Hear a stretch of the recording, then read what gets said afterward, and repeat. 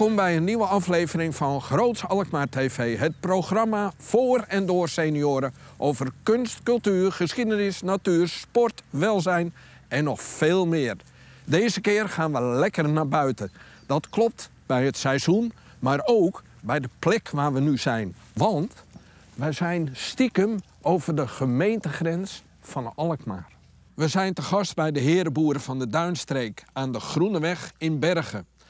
Een boerderij opgezet door mensen uit Alkmaar, Bergen en Heilo. In deze aflevering krijgen Hans en Tineke een rondleiding op het ecodorp. Hoort Hans alles over de Nederlandse landgeit. Jane praat met de vogelwerkgroep. En Theo die bezoekt het museum van het vliegveld Bergen. Muziek met Ruis luistert naar de Burn Brigade. En verder natuurlijk de agenda en de minuut van. Zin in frisse ideeën? Kijken dan.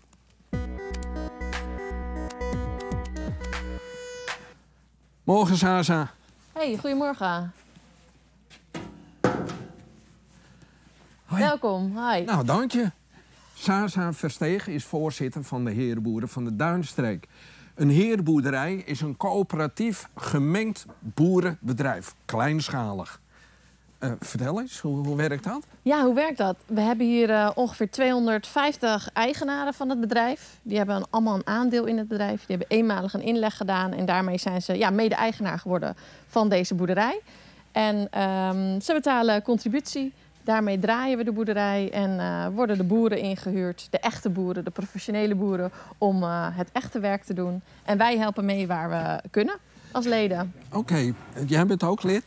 Ja, ik ben ook lid en ik ben daarnaast ook voorzitter. Ja, met een vrijwillig bestuur eh, runnen we de boerderij. Even voor de duidelijkheid. Het heet herenboeren, maar er zijn ook herenboerinnen. Er zijn zeker herenboerinnen. Ja, herenboeren is de naam.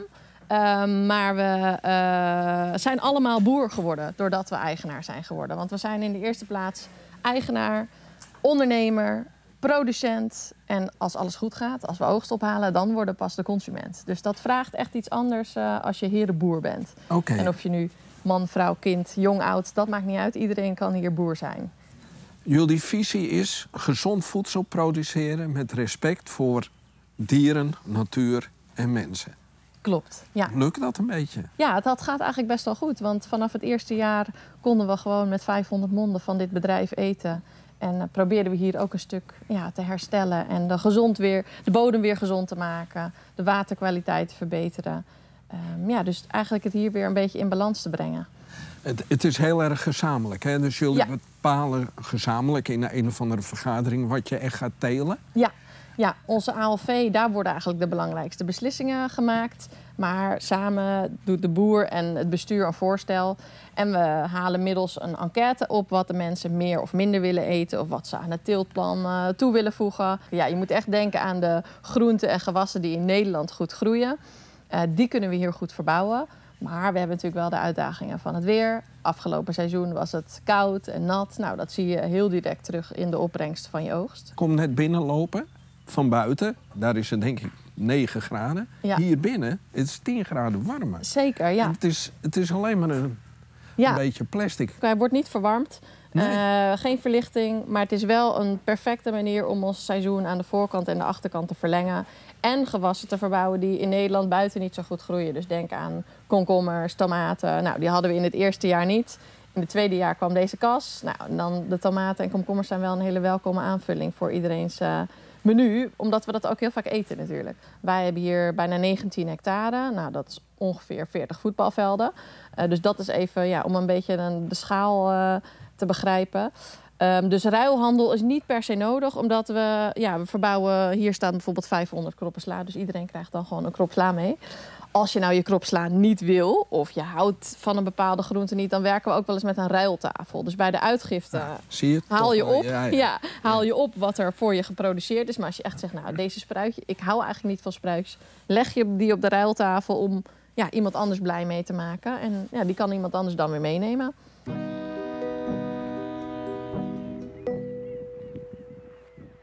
Nou Kees, ik zie jou hier schoffelen. Ja, Doe je dat elke dag of... eh, nee, ik doe hier anderhalve week doe, doe ik mijn werk hier en dan een halve dag hier. En een andere dag daar in de kruidentuin. Is, is dit het laantje wat je altijd doet? Of? Dit is, mijn, dit is mijn laantje, dat is het laantje van Joop, dat is het laantje van Jan. Ah, Die andere weet ik zo niet even uit mijn hoofd, maar eh, zo werkt het. en wat staat hier eh, precies? Waar kijken we naar? Hier staan kruisbessen Ja? en daar staan ook kruisbessen. Daar staan rode bessen, zwarte bessen, frambozen. En waarom doe je dat eigenlijk hier? Omdat ik het gezellig vind, ik vind het leuk. Ik, ik, heb, eh, ik ben hov- hovenier geweest, ik wil nog wat doen. Ja. En ik vind het gewoon ontzettend, ontzettend leuk. leuk. Leuke ploeg mensen. Wanneer ga je je eigen kruisbessen ophalen? Die gaan ik denk ik, ja, ik weet het niet. Ik, ik weet niet of ze komen. Oh, Ik dat weet je nog niet. Nee, dat weet ik nog niet. Want we hebben inmiddels hebben we slakken erin gezien en we hebben meeldaal. Dus het is maar de vraag of er wat afkomt. Oké, en Ik kun je dat niet tegengaan dan? Jawel, maar dan moeten we een biologisch middel zoeken. Oké, Rupsen zitten er ook nog in. oké, dus je bent afhankelijk ook van de Van de- medebewoners, zeg ja, maar. Ja. Ja. en dat is omdat we hier dus biologisch dynamisch werken. Ja. We mogen niet spuiten. Ik zag daar ook schapenwol liggen onderaan bij die kruisbessen. Ja, dat- Waarvoor is dat? Nou, het, het lijkt dat dat onkruid tegenhoudt, maar ik geloof er niet in. Nee. Eerlijk gezegd. Oké. dus, maar goed, het is lekker warm en eh, het heeft een functie. Mooi. Ja. Nou, schoffel lekker verder in je eigen lijntje. Ik ga lekker schoffelen in mijn lijntje en eh, bedankt. Succes. Oké, dankjewel.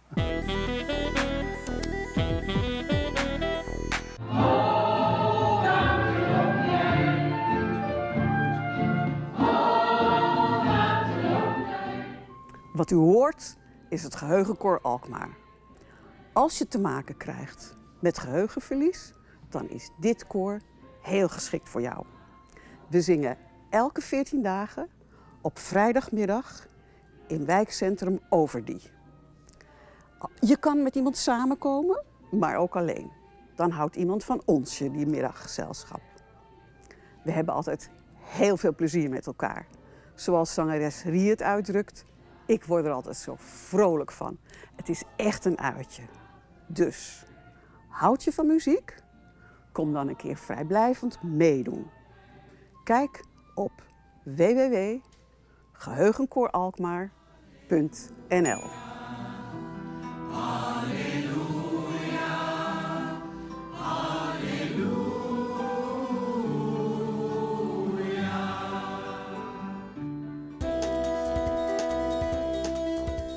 Boer Nick Mulder is dagelijks in de weer met koetjes, varkens en fruitbomen.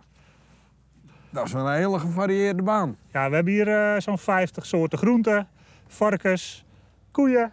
We hebben tomaten, komkommers, eh, we hebben appels, peren. Tot asperges, tot aan granen, tarwe, rogge, haver. Alles. Heb je nu alles gezegd? Nee, Oh, Oké. veel meer. Wat, ben, je, ben jij boer of ben je ondernemer? Wat, wat, wat ben je? nou, ik, ben, ik, ik ben in loondienst van Herenboeren Nederland. Ja. Eh, de boeren op een herenboerderij worden gedetacheerd door Herenboeren Nederland. Ja. op een boerderij. Ik ben hier samen met mijn collega Reinoud. Uh, Reinoud doet de groenteteelt, ik doe de vee en het fruit. Dus uh, er is echt een, een, een scheiding in bij ons. ja.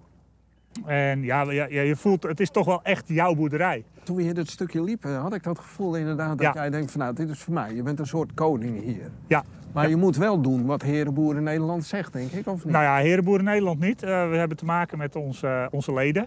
Uh, en onze leden die uh, bepalen wat er geteeld wordt. Uh, in zoverre uh, geen avocado's bijvoorbeeld en geen uh, citroenen en sinaasappelen, wat ook soms wel eens naar voren komt. Maar wel uh, willen ze meer snijbiet, willen ze meer peultjes, willen, ze, wat voor, wat, willen ze meer aardappelen, dan gaan we meer aardappelen telen. Dat dus doe dat, jij gewoon?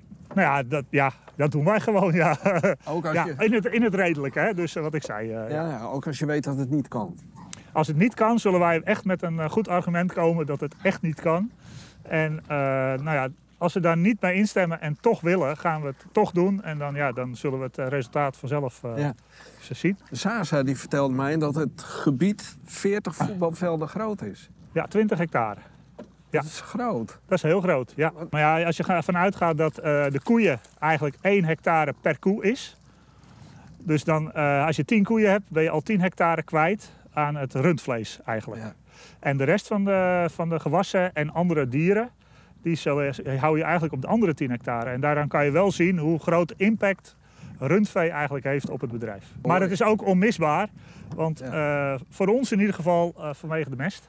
Ja. Op eh, deze zandgrond hebben we echt mest nodig om, om een goede gewassen eruit te krijgen. Vooral bij de, bij de kolen. Ja, we hebben het even over mest. Hè? Je begint er zelf Ja, over, maar ja. stikstofregels en zo. eh, Ja, wij, hebben gewoon, eh, wij zijn gewoon een boerenbedrijf. Dus wij hebben ook gewoon alle regels te volgen die elke boer moet volgen. Eh, we hebben alleen wat meer facetten, omdat we alle facetten van de bedrijven allemaal hebben. We hebben en varkens en koeien, akkerbouw, we hebben fruitteelt, we hebben groenteteelt, we hebben kasselentuinbouw. Dus ja, het is, het is echt, Maar je houdt je aan de regels. We houden ons aan de regels. Die Hey, herenboer Joep is dit. Hij heeft namelijk, hij, hij vertelt wel vol verven wat hij met eh, de dieren en de groenten en de fruit en zo allemaal doet. Maar hij vertelt er niet bij dat hij ook te, dat hij ook te maken heeft met minimaal 250 hele eigenwijze Nou ja, vrijwilligers. d- dat, dat is het. Ja, vrijwilligers noem je dat. Eh, Maar dat zijn het ook. Het, Het zijn, het zijn- zijn leden van de coöperatie, maar ze worden wel geacht mee te helpen op het land. Want eh, die twee boeren kunnen dat, tweeënhalf, die kunnen dat niet in een eentje natuurlijk. Er is zoveel te doen hier. Wij moeten een compleet bedrijf draaien met z'n allen. Dat betekent dat er 13 eh, werkgroepen zijn die van alles doen, van vogelwatje tot administratie en PR, precies wat jij al zegt. Zo kan iedereen eh, zijn eigen inbreng hebben. Maar je doet het hiervoor, hè? Ja, Ze glimmen wel heel mooi in de zon. ze glimmen erover. Ja, ze zijn heel gezond.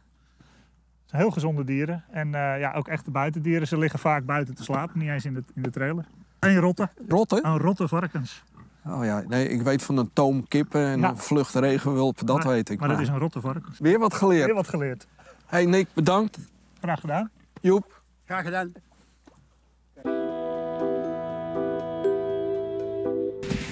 Goedemorgen, Jet en Jacqueline. Leuk dat jullie hier zijn. En eh, ik ben heel erg benieuwd eh, waarom jullie lid zijn geworden van de Herenboeren. Er waren eigenlijk een aantal eh, redenen voor mij. Ehm, ja, belangrijk was dat had ik eigenlijk behoefte aan eh, iets eh, op een schaal die ik zelf kan beïnvloeden. Wauw, dat is een mooie Ja, reden. dus dat is een, een groot, nou ja, wat hoger doel, zeg maar. Hè. En ik heb het gevoel dat in ieder geval op dit stuk grond we de aarde een beetje mooier kunnen achterlaten dan we hem aantroffen. En jouw reden was ook dergelijk? Of? Nou, een stukje redden van de aarde, van alle chemische troep die eh, gespoten wordt en eh, de grond ingaat. Maar ook gewoon een stukje natuurbehoud waar je duurzaam eh, Mooi, mee aan de slag kunt. mooi. En hoe lang zijn jullie al lid? Vanaf, Vanaf- het eh, begin eigenlijk. Ja. Ja. dus toen het eigenlijk nog maar een initiatief was en we nog geen grond eh, Oh, hadden. En je hebt hier allerlei teams waar je lid van kan worden. Ja. En waar geacht wordt dat je ook werkzaamheden voor doet. Wat, wat voor team zit jij bijvoorbeeld? Een team samen. Dat Samen. is een team wat eh, probeert eh, heel communicatief te zijn naar de andere teams, naar de hele groep. Oké. Het organiseren van bijeenkomsten van eh, lentefeest, zomerfeest. En jij, eh, Ja, ik ben lid van hetzelfde team. Ik Oké. ben een coördinator van dat team. Dus wij zijn Oh, vooral eh, eh, hier op aarde om de community te versterken. En een laatste vraag, wat Ja. is jullie lievelingsgroente uit- dat je hier kan krijgen? Nou, dan ga ik voor de paksoi. En jij, Jet? Ik ga voor de pastinaak Wauw. en de spinazie. Die is ook niet te versmaken. hey, dan werk ik, Ja. wens ik jullie heel veel succes en bedankt voor dit praatje. Ja, Graag gedaan. De Nederlandse landgeit is het enige oorspronkelijk Nederlandse geitenras. Ze staan ook wel bekend als de armeluiskoe. Het ras werd met uitsterven bedreigd, maar is nu weer in opkomst. Astrid en Gerard Berghout weten er alles van. Hans ging met ze mee op zoektocht.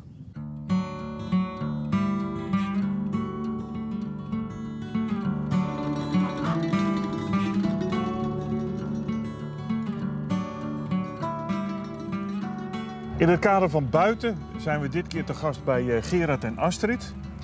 Ja. Gerard en Astrid in Schermerhorn, hè? Ja, in Schermerhorn. En waarom zijn we hier nou eigenlijk, Astrid? Jullie eh, komen voor de landgeiten, Ja? maar we hebben niet alleen landgeiten, er zijn meer dieren hier. Om te beginnen zijn hier eh, de dwerggeitjes en eh, verderop hebben we nog meer dieren. Ja, Kunnen kunnen varken. ja, ja. We zijn een beetje langharig, hè, deze? ja. Nou ja, je hebt, Of is dat een winter... eh, Ja, de ding, het gaat er nu af, dat zie je. Ze hebben al wat kale plekken hier en daar. Kun je wel zien, Lodewijk is een beetje rossig. Ja. En eh, als hij zijn haar verliest, dan eh, doe ik ze in de factor 50. Doe je de factor 50 op? Ja.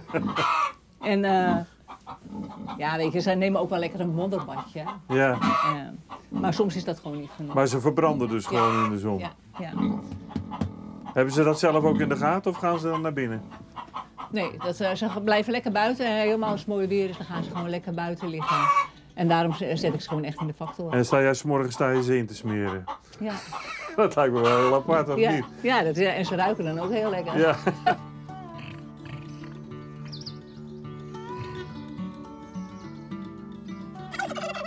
Hoe laat begint die 's morgens? Nou, als de zon opkomt. Maar Oh. het is niet echt vervelend. Als hij veel geluid hoort, dan, dan, dan gaat hij ook weer... eh, Ja, ja, oké. Hij reageert op ons nu. Het mooie is, als die kinderen met een bootje langskomen, komen ze hier langs en dan gaan ze allemaal... Want dan weten ze dat hij dan reageert. Ja, ja. Ja. ja. Ja.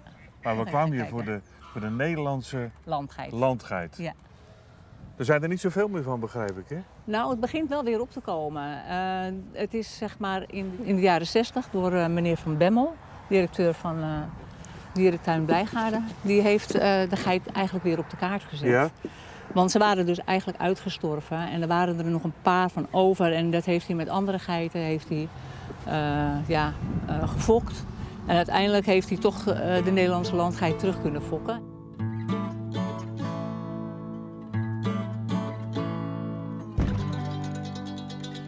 We hebben even een directeurszetel voor je neergezet. Ja, heel fijn, dankjewel.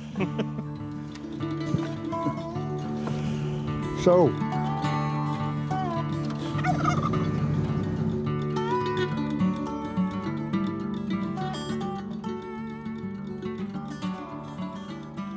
Dat merk je overal en dat maakt niet uit met wat voor een dier dat is.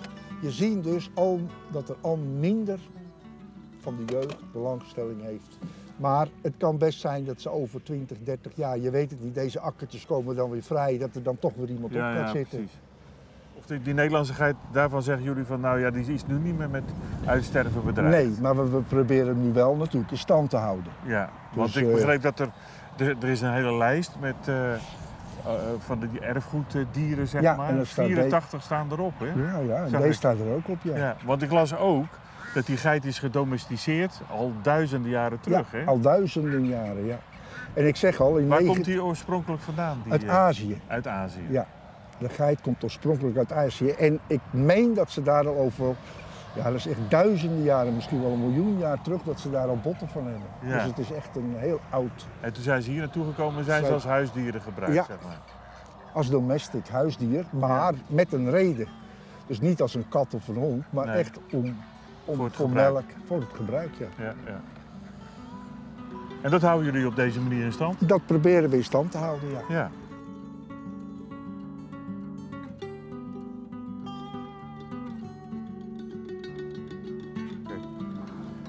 Dag Gerard, bedankt Ja, voor dit inkijkje voor van de de- Nederlandse landgeit. En het mooie ritje over het water. Jij ook bedankt.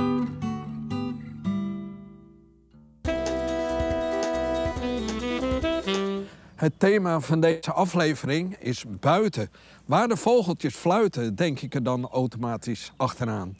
Jane gaat erover in gesprek met Elias den Otter en Koen de Geus.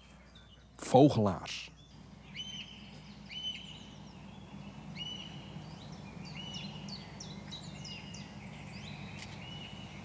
We horen van alles. Elias en Koen. Van de vogelwerkgroep, begreep ik. Zeker. Hoe komt dat toch? Waar komt een fascinatie voor vogels vandaan? Ik denk voor iedereen is dat anders. Maar eh, als je eenmaal de eerste vogel ziet en je bent gefascineerd, dan ga je er meer in verdiepen. En voor mij was dat de gier in Spanje. Wat was het Ja, voor jou? nou, eh, oh ja, de hetzelfde verhaal. Ja, was hetzelfde verhaal. ja, dus eh, ja, en dan ga je meer over lezen, over de vogeltrek, over hoe ze zingen. Ja, er zit de hele wereld achter. Wat heel fascinerend is. Ja. Ja, want ik kan me voorstellen, een gier, dat is, dat is nogal een ding. Maar dan kom je langzamerhand ook bij de kleintjes terecht. Dan ga je ver weg op reis naar Nieuw-Zeeland. Dan denk je, dan wil ik alle, alle vogels daar zien.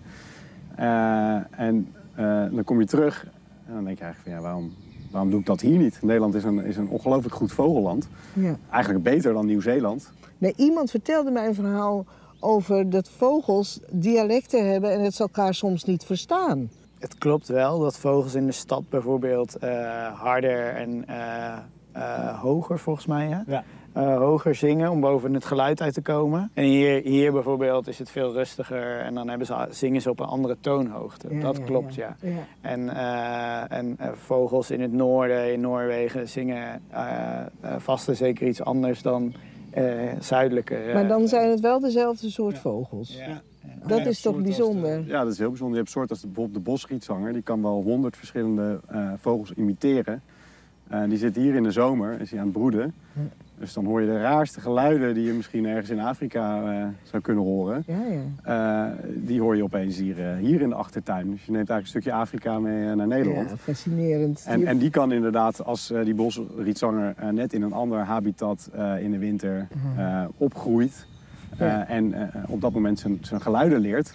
dan kan die een heel ander dialect hebben dan een... Ja, precies. Ja, ja daar was ik echt nieuwsgierig naar. Zo'n vogelwerkgroep, dan... Wat doen we precies? Wat doe je? Ja, Dat het is er zit werk in. Vogelwerk. Ja, er wordt hard gewerkt, zeker. Eh, eigenlijk op drie verschillende terreinen.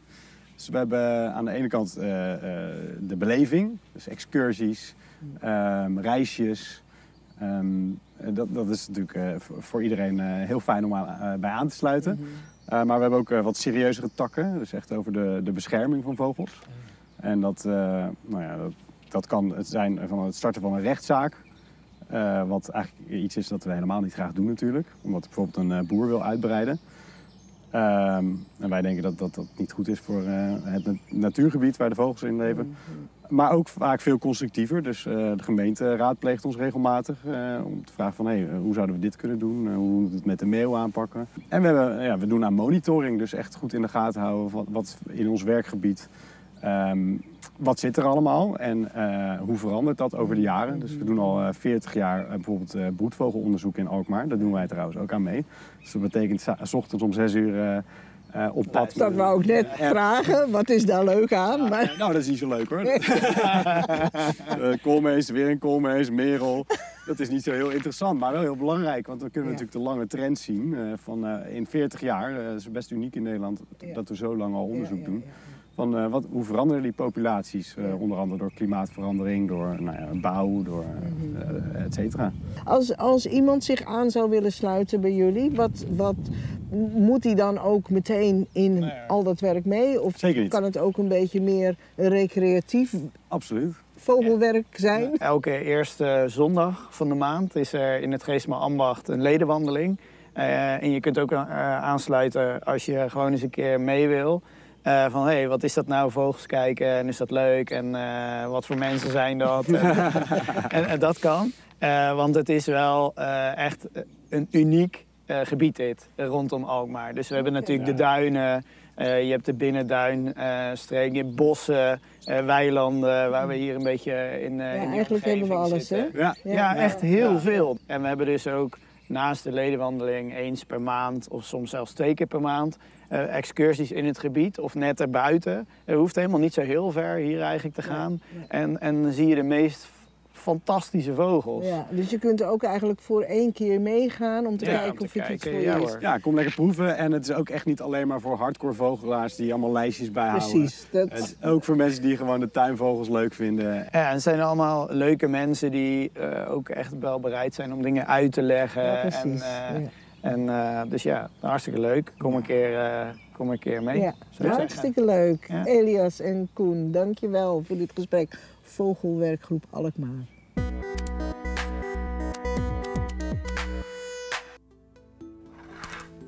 Hallo, ik wil ons graag even voorstellen.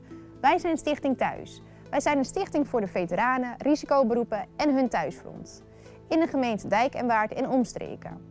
Als je veteraan bent of een risico uitoefent, dan is de kans groot dat je niet alledaagse dingen hebt meegemaakt. Wij bieden een luisterend oor aan, een kop koffie als je even contact wilt. We organiseren ook leuke dagen en evenementen om elkaar te leren kennen en elkaar te kunnen steunen in de moeilijke en minder goede tijden. Wij zijn van plan om ons aanbod uit te breiden. binnen Dijk en Waard en omstreken. Door middel van activiteiten te organiseren om samen te zijn voor de maatschappij. Om dit te bereiken zoeken wij vrijwilligers. Heb jij een paar uur over of meer vrije tijd en wil je die nuttig besteden en spreekt onze stichting je aan, neem dan contact met ons op via de website of zoek ons op op Facebook, Instagram of WhatsApp.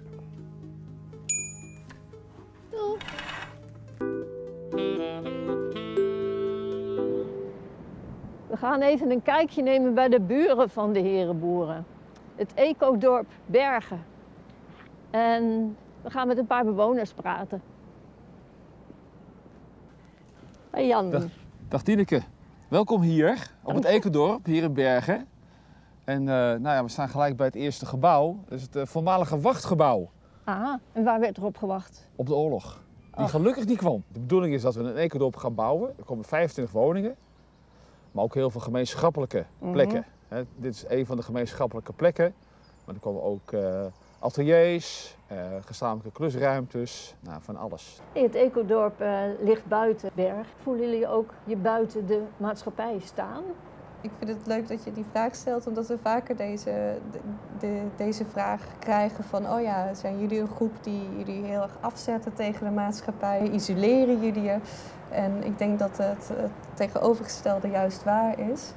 Ehm, onze gemeenschap die probeert eh, bij elkaar te komen en eigenlijk antwoord te geven op, op heel veel vragen die in de maatschappij voorkomen. Echt een proeftuin. Ja, echt Ja. een proeftuin. Eh, wij onderzoeken ecologische huizenbouw om te kijken van kun je op een wat duurzamere manier eh, een huis bouwen? Kunnen we onze footprint eh, zeg maar reduceren en minder verpakkingen gebruiken? Nou, dat doe je bijvoorbeeld door eh, zelf groentes te verbouwen. Eh, we hebben ook een bulkwinkeltje voor onze bewoners, waarin we dus gezamenlijk producten kunnen inkopen en dan met een potje naar de winkel toe kunnen en dat kunnen vullen. Dus het- dan hergebruik je gewoon een glazen potje in plaats van dat je steeds het plastic weggooit. Dit was vol met beton. Ja. Dit hele plein lag vol beton. En er stonden vier grote loods omheen. Dat hebben we allemaal gesloopt. Het beton is allemaal verwijderd. De meeste loods afgebroken. Zo, wat een werk. En dat waren er drie, hè? drie van dit soort pleinen. Dus dat hebben we een aantal jaar allemaal, eh, geleden allemaal eh, met een aannemer gedaan. Hey, en En- dat was het vliegveld dus, hè? Het was een vliegveld, ja. Er zijn natuurlijk ook wel dingen die besloten moeten worden, die wat groter zijn, denk ik. Hè? Ja. een, eh, dus eh, zeg maar het besluitvormingsproces. Ja. Dat, ook dat is niet zo makkelijk, denk ik. Ehm, ik, zeg, ik zeg altijd dat, dat zeg maar de, doordat iedereen echt vanuit zichzelf zijn mening vormt en, en dat naar het midden toe gooit, dan komt er een soort van soep. Ja. en alle ingrediënten samen, daardoor ontstaat er gewoon uiteindelijk een, een, een, een, een mooie soep, een lekkere soep, een soort van waarheid eh, die, die zeg maar telt voor, voor een hele gemeenschap. Ja. Ja. Nou, ik, dan heb je wel prachtig, een prachtig beeld gegeven van wat het ecodorp eh, is. Ja. Dank je wel. Alsjeblieft. Waar nu de rust van het buitenleven heerst, vielen in de Tweede Wereldoorlog bommen. Vliegveld Bergen werd eerst bestookt door Duitse bommenwerpers en later door de geallieerden. In mei 1945 vielen er heel veel voedselpakketten uit de lucht. Theo steekt zijn licht op in de bunker van het museum van Vliegveld Bergen. Elke keer als ik van Alkmaar naar het strand bij Egmond rijd, vallen mij die bunkers op, links van de Hoeverweg. Wat een vreemde plaats om daar bunkers neer te zetten. Maar wist je dat die bunkers bij een groter geheel hoorden? Ze hoorden bij het vliegveld Bergen. Dit is namelijk de meest zuidelijke locatie van wat ook wel het bunkerdorp wordt genoemd. Er stonden zeven bunkergroepen rondom het vliegveld. We zijn nu ten noorden van de Hoeverweg. Hier vlakbij heb je het ecodorp en ook eh, het complex van de herenboeren. Maar daar ligt ook een museum. Het museum van het vliegveld Bergen. Jelle? Ja, Goedemiddag Theo. Ja, Welkom. hey, hey, hey. Dit is jouw eh, museum. Jij bent de beheerder van het museum. Dat klopt. Ja, ja. Ik ben benieuwd. Ja, kom verder. Ja. Wat voor bunker was dit? Dit was een eh, telefoon. eh, post van, eh, van de Duitsers. Eh, midden op het vliegveld eh, eigenlijk. Ja. ja, deze bunker die bood bescherming bij luchtaanvallen. Het vliegveld is in 1937 is dat, gebouwd. het was een Nederlands vliegveld, militair vliegveld. Ja. het vliegveld is 10 mei 1940 is dat aangevallen door de Duitsers en is een behoorlijke ravage is er geladen de geallieerden die hebben dit ook gebombardeerd. 52 keer heb ik gelezen. Ja, ja, ja dat klopt. De uh, geallieerden die, uh, kozen bergen voornamelijk als alternatief doel. Na het uh, grote Amerikaanse bombardement ja. zijn de Duitsers ja, het vliegveld gaan, onklaar gaan maken. sloten gegraven, door de stad en landingsbaan mijnen gaan leggen. Ja. Um, ja, hebben eigenlijk een grote ravage achtergelaten. Het westen van Nederland dat is uh, afgesloten geweest uh, van de rest van Nederland. Dat was natuurlijk al uh, bevrijd door de, de geallieerden. er was hier een, een hongerswinter, zoals men dat noemde toen. De geallieerden hebben toen voedseldroppings plaats laten vinden in overleg met de Duitsers. Een speciale aanvliegroute hebben ze daarvoor toegewezen gekregen. Die toestellen zouden niet worden aangevallen door, door de Duitsers. Ze zouden dus voedsel droppen. En dat hebben ze hier, onder andere hier op Berg hebben ze dat gedaan. Dat voedsel werd naar Alkmaar toegebracht en in pakhuizen werd het opgeslagen. En zo werd dat verdeeld zeg maar, eh, onder de bevolking. Ik heb een stuk gevonden in het Noord-Hollands Dagblad. En daar stond het volgende in. Woensdag doorleefde Alkmaar een dag van spanning die onvergetelijk zal blijven. Dinsdag ging van mond tot mond de blijde mare dat den volgende morgen geallieerde vliegtuigen voedselpakketten voor de bevolking zouden neerlaten op het vliegveld Bergen. Reeds om zeven uur begaven zich honderden naar de Oever en den Bergerweg, waar de toegangswegen naar het vliegveld reeds waren afgezet door de marechaussees. Om half tien kwamen de eerste vliegtuigen. Na een uur werden deze vliegtuigen door meerdere tientallen gevolgd.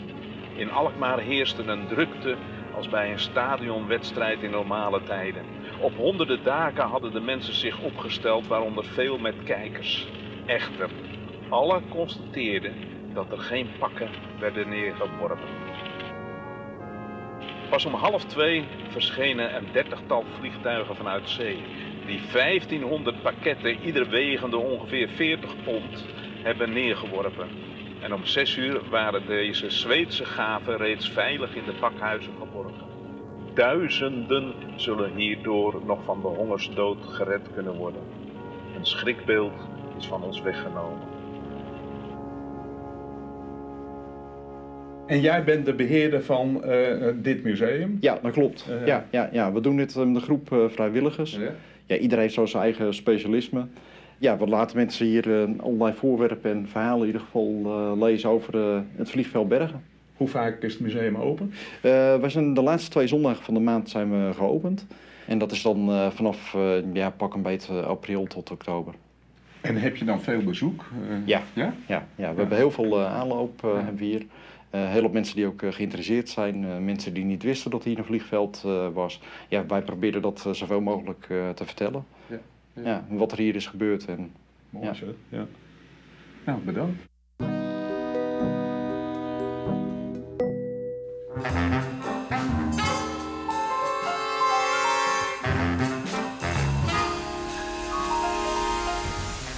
We zijn hier bij een repetitie van de Burn Brigade. En jij Frans met de dirigent. Hoe lang ben je dat al? Ik denk dat dat alweer een jaartje of vijf is. Dat ik ervoor sta. Het uh, orkest is een uh, heel speciaal orkest voor mij, omdat, uh, omdat het zich zo onderscheidt van andere orkesten in, in de amateurwereld. alle big bands die meestal het gangbare repertoire spelen van Count Basie, Duke Ellington, de hele bekende dingen. En zij hebben dat niet. Zij doen hele andere dingen. Dus eigenlijk is het als band al heel speciaal. Wat is jouw drive om hier voor te staan en wat denk je dat de drive van de muzikant is? Ik vind de, een hele grappige Noord-Hollands Alkmaarse wellicht uh, ja, mentaliteit uh, vind ik ook heel erg leuk. Het orkest, ja. Het is een echt een allegaatje. Een allegaatje van, van alles en nog wat. Uit Alkmaar en omstreken natuurlijk. Ook dat onderscheidt zich weer van van veel andere, van andere orkesten waar ik voor sta. Creatief is zo'n orkest. Want je, je leest toch van nootjes af?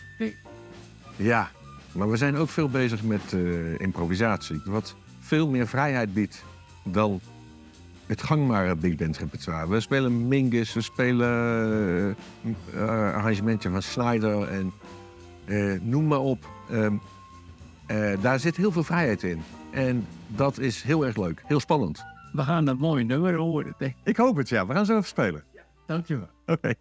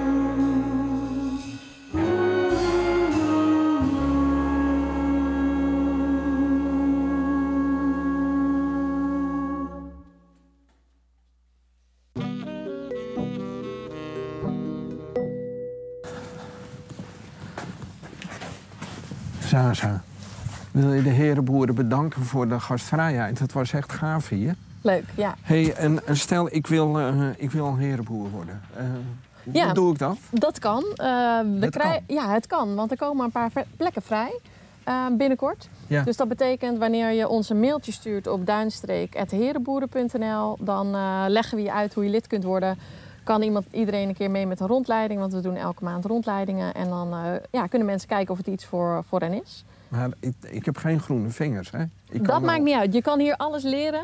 En je kunt ook heel veel andere dingen doen uh, op en rond de boerderij. Uh, bijvoorbeeld filmpjes maken of een nieuwsbrief schrijven. Dat kan ook allemaal. Dat dus, kan ook allemaal. Ja, ja, dus we kunnen overal op en rond het bedrijf handen gebruiken. hey, en wat kost het? Het kost 2000 euro voor een meerpersoonshuishouden om in te stappen en 1000 euro voor een eenpersoonshuishouden. En dan is het, uh, moet ik even goed nadenken, uh, tussen de 11 en 17 euro per mond per week, afhankelijk of je vlees of geen vlees uh, wil afnemen. Saza, het lijkt me ontzettend leuk om hier je eigen groenten te verbouwen. Dan hoef je ook niet meer naar de supermarkt toe. Ja, Klopt. leuk. Ja. Ik, ik overweeg echt om, nou, leuk. om herenboer te worden. Kom ik je mee met de rondleiding en dan vertellen we je nog meer. Nog meer? Ja, nog meer. Nou, gaaf. Hey, ik ga je Leuk. zien. Doeg. Je hebt weer gekeken naar een aflevering van Groot Alkmaar TV over buiten. Vond je hem leuk? Geef dan even door aan vrienden, bekenden, buren, familieleden, klasgenoten. Maakt mij niet uit. Tip ze over ons YouTube-kanaal Groot Alkmaar of de website www.grootsalkmaar.nl. Doen hè!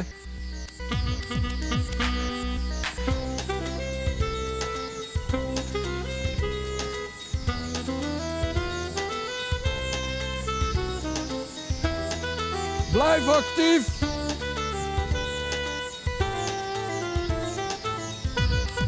Huis, groenten, planten, planten.